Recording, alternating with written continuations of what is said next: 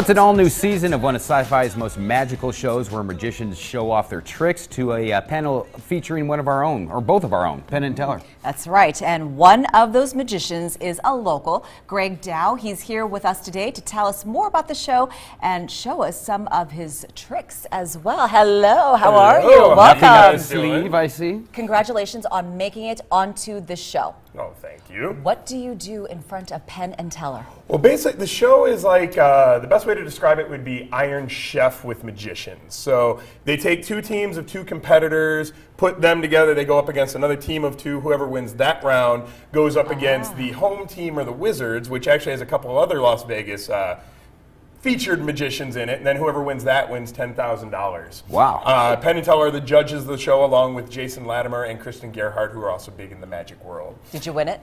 I can't say, Darn, but I was gonna get it tomorrow night, it, it- it's the premiere episode. Tomorrow Okay. night, you get to watch it. Fantastic. And you've already shot the show, as you mentioned. Shot. How did you hear about the show, or how did the show hear about you? It's actually kind of neat. The the show itself was created by a Las Vegas. He used to write for the Weekly out here in Las Vegas. His name was Rick Lax. He actually created the show in his living room. It went from a YouTube pilot to a full fledged, got picked up by SyFy show. And so Rick had known me from doing magic around town. I do a lot of magic. Uh, at various places, I do the LINQ, where the giant Ferris Oh, wheel is. I do a show out there twice a week on Mondays and Tuesdays. Uh, I do a show at the Desert Club Resort, which is one of the local resorts in town. I do close up magic there. Uh, I do private parties at Señor Frogs when they have all sorts of things. And I do a lot of other private shows in town. So you're all about magic. How'd you get into it? Uh, well, you know, a lot of kids get a magic set when they're a kid, and they get so enthralled with magic, they got to become magicians. That wasn't me. Yeah. Oh, I, I got a magic set when I was a kid. I couldn't figure a darn thing out. But I wanted to meet girls in college. So it turns Oh. out girls liked magic tricks then, and then I learned a few more, and that's when I really. Would it be easier to pick up the guitar? I grew That's what I was up thinking. for No, absolutely. I promised my parents I'd never grow up to be a long-haired musician. Uh-oh. So Instead, long-haired with magician. a small technicality, I can There still do this. Now Okay. they still love you. I believe Gotcha. you. That's great. And you mentioned where people can see you. Do you have a website as well? I do. It's uh, gregdow.com, you know, the best last name and first name I in the business right there. gregdow.com. I do uh, private parties, uh, corporate events. I do a lot of when people come to town and they have their big, uh, what are they called? The trade shows. Yeah, the I do trade trade shows, show yep. So if you want, if you're having a party and you want to spend a little more money on it and have it be an amazing experience, right there, website, you call me, I hook you up, all sorts of We could do a show together. It'll be Dow and Dow. I don't know what I would do, but I would know what you would do. What, what, would- what would you, what would you Can I do? be on the show too? I don't know. is it Yeah, cool? that would be fun. I could be the person you chop in half there. On, uh, You that'd be great. He could pop out of the cake. I, I See, could, what? I've popped out of a few cakes in my time. It's very true. That's how we got the gig here. yes, yes. Now you're gonna do a little. I'm going to do a little illusion for for, you right now, a little, little close-up magic. That's my specialty. I do a lot of close-up magic in town. So I figured we're in Vegas. I want to do something that one of my idols did. This is something Copperfield did on TV. One of Oh, my Wow. favorite things. Um, Hammer, Yes. do you have a $20 bill on you by any chance? I see you haven't won the 10000 yet. Yeah. Let me see what I, let me see what I have here for you. If not, you've been in Vegas way too long.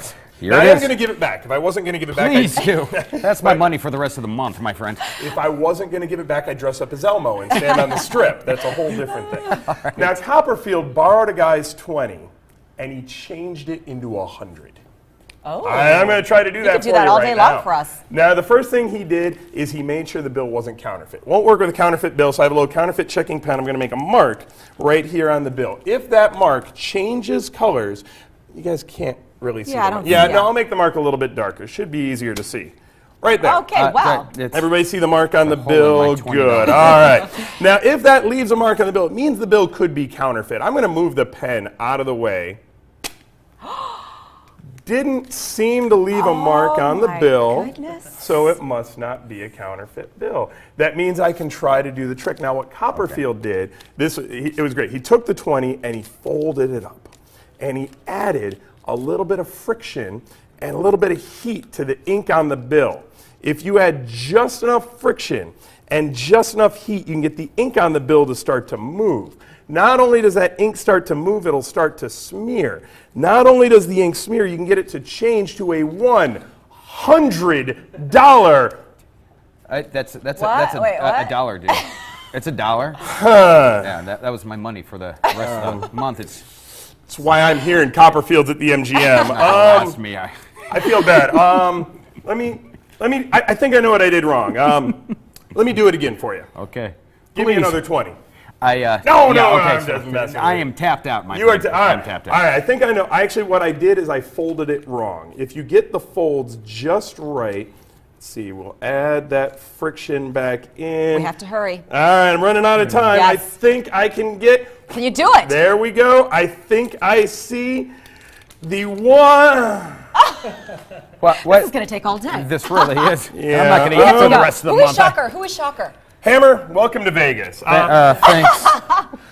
Shocker is my alter ego. Uh, that's my comedy character. I'm also known as the world's only pro wrestling magician Oh. here in Vegas. Yep, there's Shocker right there. You're scaring me right now. Yeah. Shocker does a lot of the comedy clubs in town. That was actually shot at the Sapphire Comedy Hour, one of the classiest comedy Oh, yes. shows in town. Uh, And it- sexiest. it's actually a really good show. They, they get guys who've been on HBO and Comedy Central at that one. Uh, that uh, you can also see Shocker at Jeff McBride's Wonderground, which is the third Thursday of every month at the Olive in Henderson. That's Very a cool. crazy. We got to go. We gotta go. We're getting All to right. wrap. We're getting out All of right. here. Gotta get Catch here. Greg on the all-new season of Wizard Wars. The show premieres tomorrow on SyFy at 10 p.m. To find out more about Greg and how you can book him, just head to the website or call the number on your screen.